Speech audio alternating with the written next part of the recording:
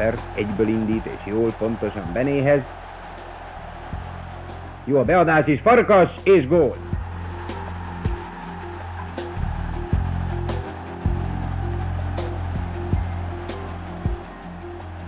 A magyar futball történelem egyik leghíresebb gólját 1966-ban az a Farkas János lőtte, aki cigány származású magyar labdarúgóként talán egyedül jutott el a világhírig. Bár a származás akkoriban még nem volt téma, s jó esetben ma sem kellene, hogy az legyen, ő mindig vállalta, honnan érkezett. Farkas Jancsi akkora gólt rúgott a braziloknak, hogy az egész világ zengett tőle. Igazi ö, csapatember volt, igazi jó közösségbe illő személyiség volt. Csodálatos ember volt, mert a vállalni a cigányságát, nagy magyar volt, és nagy, nagy cigány volt. Szenzációs játékos volt, barát volt, egyszerű cigányfiú, akit nem lehetett nem szeretni. Farkas Jancsi a 60-as évek világklasszis futbalistája volt, akit nem csak itthon, de a világ számos országában példaképnek tekintettek. Csillében a mai napig őrzi nevét egy szurkolói klub. A későbbi olimpiai bajnok labdarúgó cigány munkás családban született 1942-ben. A Ládaváros néven ismert Ferencvárosi szegénytelepen nőtt fel. A fiatal csatárt 59-ben igazolta le a budapesti Vasas, amelyel négyszer nyert magyar bajnokságot.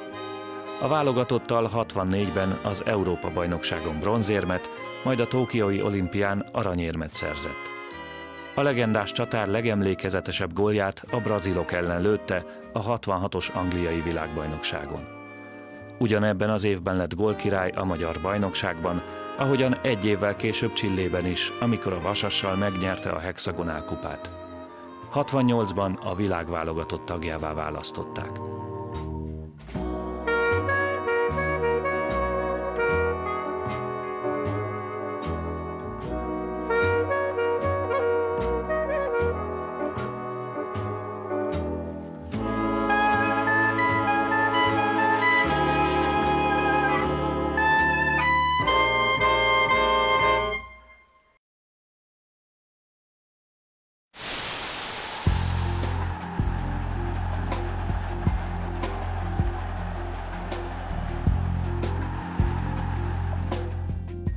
Hát a magyar Pelé. Úgyhogy egy fantasztikus nagy barátom volt. Együtt gyerekeskedtünk, együtt kerültünk a Vasasba 1958-ban, együtt voltunk ifjúsági válogatottak, együtt voltunk nagy válogatottak. Nyugodt szívvel mondhathatom azt, hogy közszeretetnek örvendett. Most már akkor is, amikor bontogatta a szárnyait is, ugye, hát akkor, amikor meg már standard játékossá vált, akkor egyértelművé vállalt volt az, hogy ő húzó embere lehet annak a válogatottnak. Mindenki szerette, mindenki tudott segíteni, és hát borzasztó nagy megtiszteltetés, hogy 21 év után most én a televízióban beszélhetek róla, illetve talán egy-két fiatal nézi, és tisztában lesz vele, hogy szenzációs futbalista volt. A pályafutása nagyon eredményes volt, többszörös bajnok volt a Vasassal, Kezdetben azt hiszem a László kórházban fotbalozott, majd utána a Vasashoz került, és ha nem csak az emlékezetem, akkor az a Ferencvárosban is megfordult a Farkas Jancsi.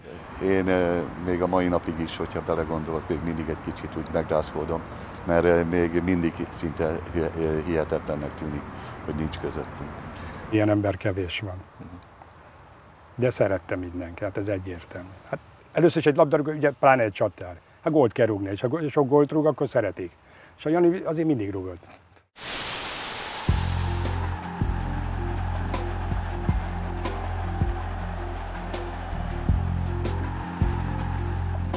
Albert a karmester, egy testjellel két osztrákot rád le, jobbra küldi a labdát, Molnár egyből átvágja, Rákosi érkezik, Farkas lő, gól! 1-0 Magyarország csapata javára. A második félidőben is látunk jó néhány szép magyar támadást. Benelőnése levágódik. Farkasi a labda, lövés, gól!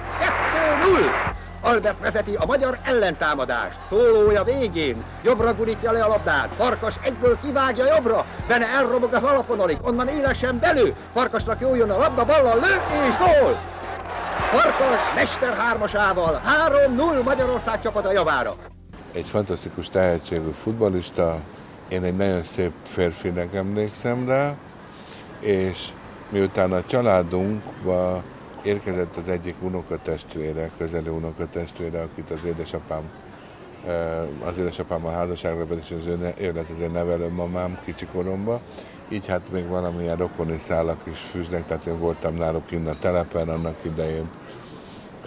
Találkoztam vele kisfiúként is és felnőttként is. Kisfiúként mi családi ünnepségeken, felnőttként pedig, amikor én a békeszállóban játszottam 1967-68 környékén, akkor volt egy nagyon komoly mulatos ö, szakasz a, magyar futballválogatban, nem akarok neveket mondani, a Mészre meg a Farkasencsi, és a hozzájuk csapódó barátok, és ők jártak a korodebe, mert ugye hát a, a, a Béke Kupola bárban gyönyörűséges táncos lányok dolgoztak ott előttünk és mellettünk.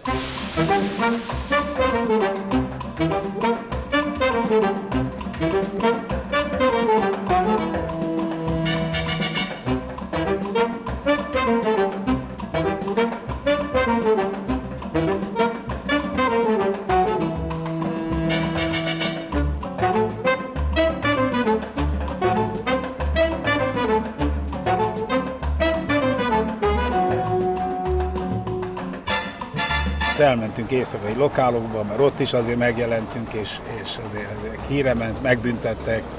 Én nem tudtam neki azt mondani, hogy nem mindig, egy helyen laktunk egymáshoz közel, megiszunk egy kis fröccsöt. Mi a az nem egy lesz. Ne törődj vele, kicsit nem megyünk. Nem tudtam neki nemet mondani, tényleg nagyszerű barátom volt. Nagyon sok cigányzenész barátunk volt közösen, a Jancsin keresztül, sok cigánynótát ismerek a mai napig is, és olyan, olyan, hogy mondjam nekem, több volt, már bocsánat a családommal szemben, mint egy testvért mondanék.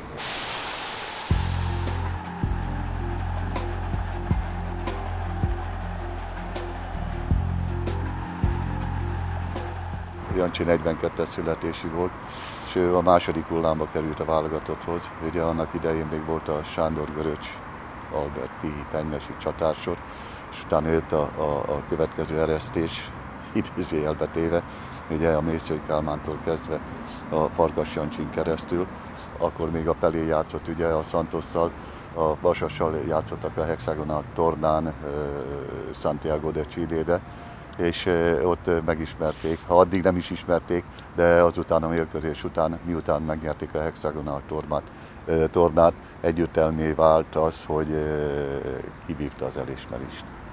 Albert Flóri imádta, imádott vele együtt játszani. Rengeteg gólt tudott rúgni az Albert passzaiból, a válogatottba, a klubcsapatban legkiválóbb volt, nekem volt a legjobb barátom. Dél-Amerikában játszottunk a Santos ellen, amikor akkor a világ legjobb csapata volt.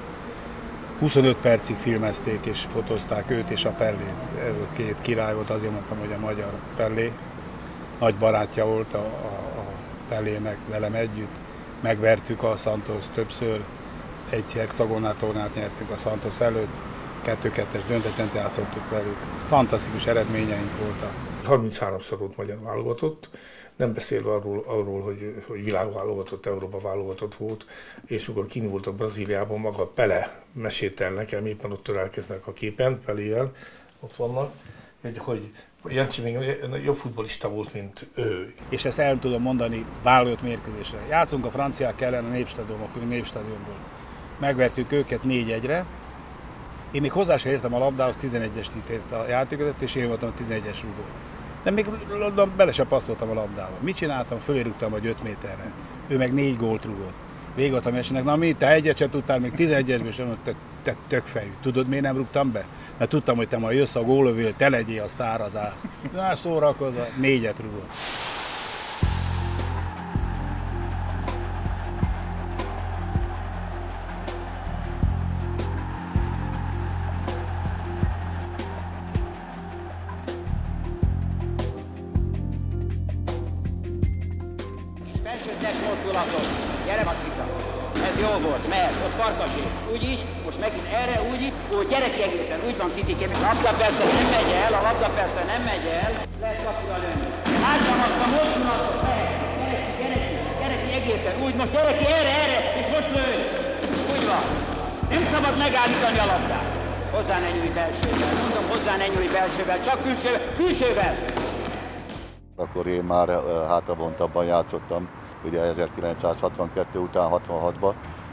amikor a Beneferivel ketten voltak előre csatárok, a Ferkó az volt jobb oldalon, a Jancsi meg bal, bal oldalt, úgyhogy hál' Istennek volt választási lehetőséget, hogy helyzetbe tudjam őket hozni. És hát szórták is a gólokat rendben. Hála jó Istennek, igen. Nagyon szerette a szűk játékot, szerette a robbanékony volt rettenetesen 20-30 méteren. És hát nem az a német, tényleg ez a latinos futball jellemezte őt. Ezt a 66-os gólt a brazilok ellen, amit, amit lőtt, ami, aminél szebbeket azóta se tudott sem Magyarországon, se külföldön senki. A második félidő kezdődik. Jön befelé a labda, Farkas mellé. És aztán az a csodagól, Farkas kapásból óriási, felejthetetlen gólt lő. Csel sorozat után kitetted a Beneferinek, Feri elszaladt, én érkeztem, és így sikerült berúgnom ezt a emlékezetet, amit a évtized, vagyis az évszázad góljának mondott. Így elmondva milyen egyszerűnek tűnik. Igen, csak oda is kellett érkezni. Ő egy igazi csatár volt, ő neki, ő neki mindig az volt, és ezt, ebből a szempontból sokat tanultam a Janitól, mindig az volt neki, hogy az előtte lávő védőt hogy tudja kinevetni, és hogy tudja kicselezni. Ez a Janinak egy, egy, egy, egy mozgató rugója volt. És hát azon kívül meg hát, hát bala jobbal hihetetlenül jó rúgott, gyors volt. Lát, aztán később, ugye, amikor már egy kicsit idősebb visszafelé vonult, akkor azt is bebizonyította, hogy lát a pályán. Uh-huh. Hát ez, a, ez a jó kedve, ez amilyen az életben olyan volt, egy bohém, egy, egy, egy élvezte ezt a játékot, és nagyon szerette, és nagyon tudott mosolyogni az ellenfél elkitolt. Pici. És ugyanakkor segítette a fiatalokat, nagyon segítette a Jani. Ez valóban így volt, egy, egy halálosan csendes, normális, jó humorú, jókedélyű, nagyon, én úgy emlékszem, hogy nagyon élettel teli. Amit hogy ez a fociban is volt neki, de nem egy ilyen rakolós típusú focista volt, hanem játékos volt, és ezt a, ezt a fajta személyiséget nem csak a pályán őrizte, hanem ezt hozta magával a, a, a, a saját személyiségeként. Mindenkinek a példaképe lehet, mindenfajta életelemben. Bohém volt, bohémak voltunk, természetesen, nem titkolom, de a futballpályára ráléptünk a pályára, hogy tudtuk, hogy egymásért, az egész csapatért, vagy ugyan, uram, bocsánat, Magyarország színeiért kell harcolnunk, játszanunk, és ebben nem ismertünk tréfát.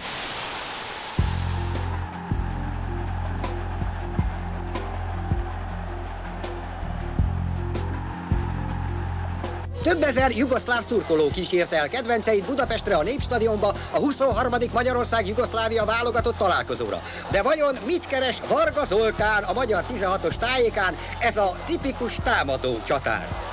A mezőny egyik legjobbja Albert Huri. Tovább ott van Farkas lába előtt a labda, ő megvárja, amíg a jobb szárnyon káposzta fölzárkózik a támadáshoz. A jobb hátvéd fejéről most oda kerül a labda Molnárhoz, de mint annyiszor máskor, most is az alapvonalon túlra hárít a kemény jugoszláv védelem. Kiház beível középre, jól jön a labda Farkasnak, balla lő, de fölé! És a mérkőzés sorsát eldöntő lövésben a lő, bombagól! Magyarország, Jugoszlávia 1-0! Többször voltunk Dél-Amerikában, de amikor mentünk a Hexagonál tornára, itt nagyon csúnya tél volt, és az ottani Ferencvárossal játszottunk a Kolokólóval, és 9-3-ra győztük le. Hát a menedzser az, az Brazíliában volt, és telefonált föl Santiago-ba, hogy na mi volt, Vasas mi volt? Hát azt mondja a, a asszisztens, hogy 9-3, Jézus Mária, milyen csapatot hoztam ide? Azt mondja, állj meg egy pillanatig. A Vasas nyert a Kolokó, úristen, repülőre rögtön jött oda. Na ezután a torna után volt, hogy lehívattak, a Santosba akartak bennünket vinni, és lehívattak bennünket, mi tudtuk már, hogy miről van szó, hát eszünk ágába sem volt, hogy mi lelépjünk, és de a Farkas Jancsira jellemzően Ratinovnak hívták ezt a menedzser, hogy leszeretne, hogyha mi átigazolnánk, és oda mennénk hozzá játszani. Én még sem tudtam szólalni, hogy igen vagy nem, azt mondja, hogy fordítsd le neki, van nálatok csirkepörköl, galuskával, nokedlivel és jó friss máróval? Hát a menedzser csak nézett, hogy miről beszél. Hát ezt majd megoldjuk, nincs megoldás. Majd ha lesz ilyen dolgotok, akkor jelentkezzetek, akkor majd megyünk.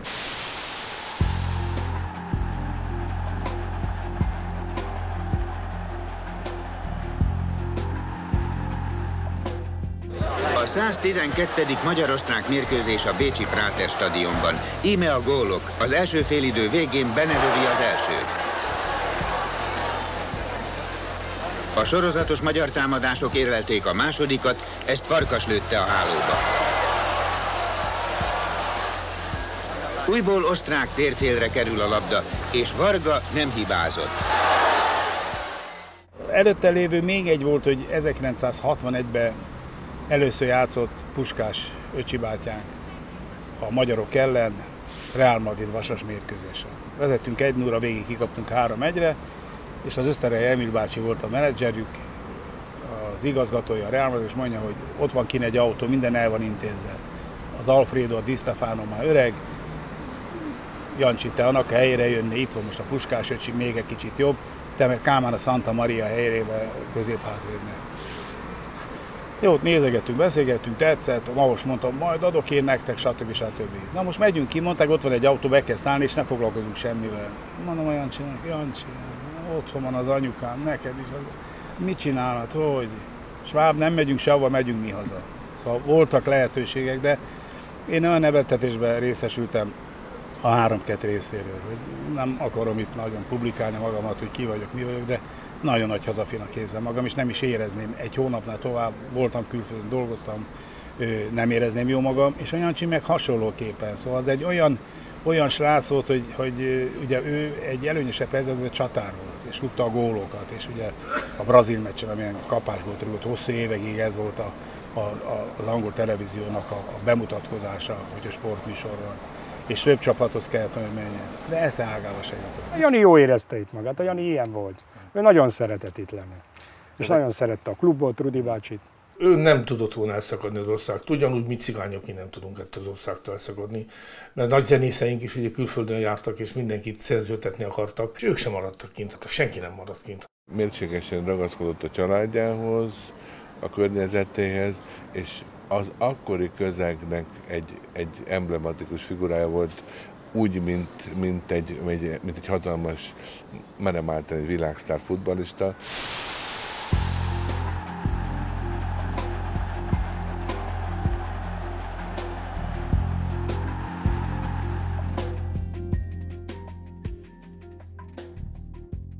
Valljuk be őszintén, kedves szurkolók, régen nem láttunk ilyen tömött villamosokat, autókaravánt, és sűrű sorokban a pálya felé igyekvő és a pénztárak előtt sorban álló embereket, mint csütörtök délután a Vasas Fáj utcai sporttelepén, Angyalföldön. Nem bajnoki vagy kupa találkozóra gyűltek össze, pontosabban gyűltünk össze, hanem búcsú mérkőzésre.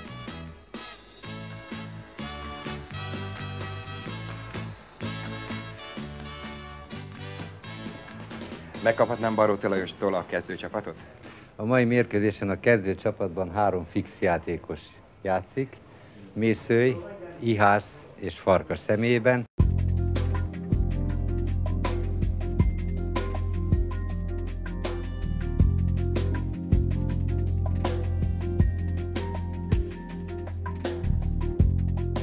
Jött egy olyan időszak a magyar futballban, hogy 30 fölött az már öregnek számított és akkor hát először ugye abba adták velünk a játékot, aztán utána visszahívtak, mert nem tudtak elmenni Dél-Amerikába turnéra, a Farkas és a Mésző nem megy, akkor nem fogadták Dél-Amerikába. Akkor még egy másfél évet visszahívtak, aztán végül is 72-ben végleg abba hagyta.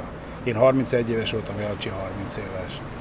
De annak a szellemnek, ami akkor volt a Vasasban is, meg a magyar futballal szemben, az nem a legrózsásabb dolog volt. Minden esetre szép volt, amit végigcsináltunk, de azért lett volna bennünk még lelki erő, továbbra is a válogatott, vagy akár a vasasba, de hát ez más időszak. Más szelek fújtak akkor abban az időben.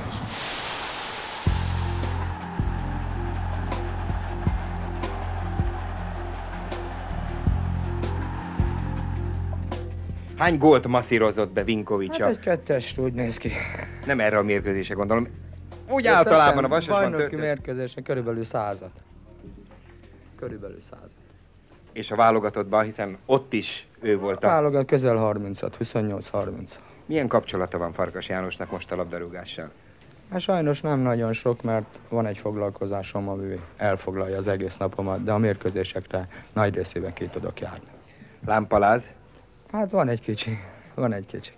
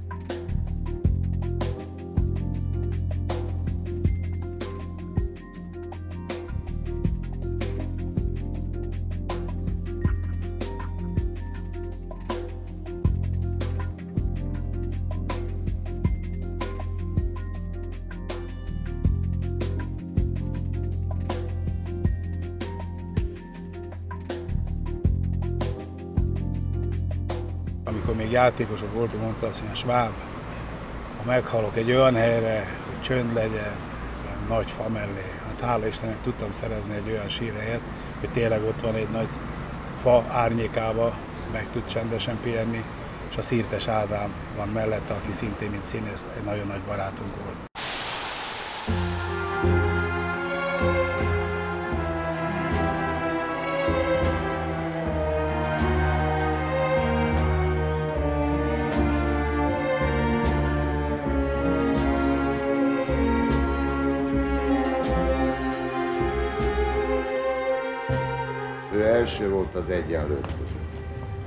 Külön büszkeséget jelentett a Vasas Sportklub számára, hogy Farkas János piros-kék színekben tündökölt, és elsősorban angyalföld csillaga volt. 17 éves korában a László Kórház csapatában ismerkedett meg a labdarúgással, és 17 éves korában húzta magára először a piros-kék mezt, melyhez egész életén át hű volt. Kivétel csak a piros-fehér-zöld trikó jelentett, melyet alig 20 évesen olyan büszkén hordott magán.